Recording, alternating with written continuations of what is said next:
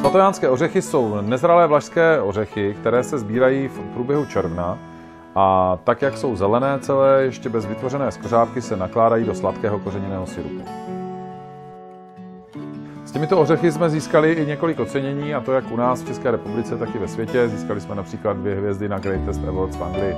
Ořechy se výborně hodí k sírům, paštikám, ale i do dezertů. Výborná je zmrzlina ze svatojánských ořechů nebo cheesecake.